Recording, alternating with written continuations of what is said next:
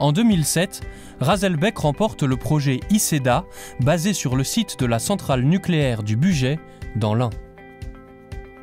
L'objectif du projet est de réceptionner les déchets activés issus des 9 réacteurs nucléaires EDF en cours de déconstruction, de les conditionner dans des containers emplis d'un coulis de béton et de les entreposer pour une période de 50 ans avant enfouissement définitif.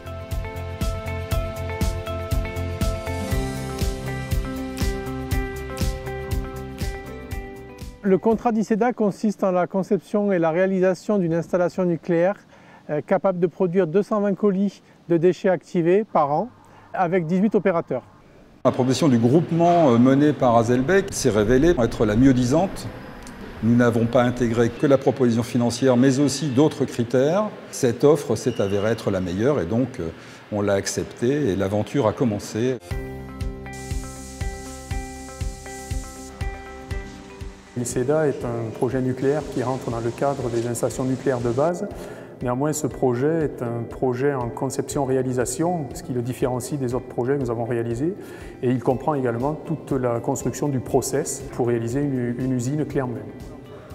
Le process recouvre toutes les installations euh, techniques qui sont à l'intérieur de la construction en béton que nous réalisons, pour ce qui concerne Razelbeck, euh, nous avons le process de fabrication des matrices cimentaires qui vont servir au conditionnement et également tout le process de gestion des effluents radioactifs, euh, qu'ils soient euh, moyennement actifs ou faiblement actifs, et également les, effluents conventionnels.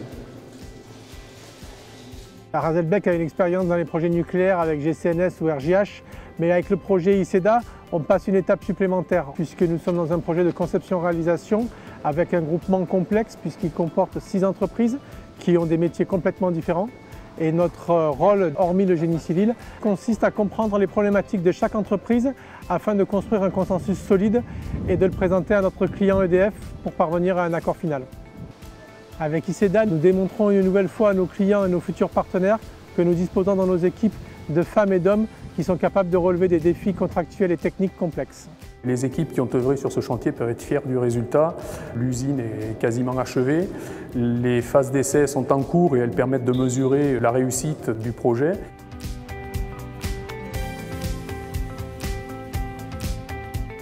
Je retiendrai d'abord le très haut niveau de maîtrise de la sécurité sur les chantiers. Nous sommes aujourd'hui euh, à plus de deux ans sans accident avec arrêt, ce qui est absolument remarquable. Le deuxième point que je retiendrai, nous avons toujours pu garder un très bon niveau de qualité relationnelle et euh, le dialogue n'a jamais été rompu, même si quelquefois la situation était très tendue, et c'est bien normal, vu que nous avons dû intégrer euh, les évolutions réglementaires qui devenaient applicables entre 2015 et aujourd'hui. Il a bien fallu se mettre d'accord euh, sur ces modifications. Sur la base de cette, cette confiance, je ne doute pas que nous intégrerons conjointement l'objectif que nous nous sommes fixés, qui est une mise en service de l'ICEDA en 2019. Et ce sera alors euh, un succès pour EDF en tant que maître d'ouvrage, un succès pour Razelbeck en tant que constructeur et mandataire du groupement, et aussi un succès pour les autres entreprises du groupement qui ont contribué à la réalisation de cet ouvrage.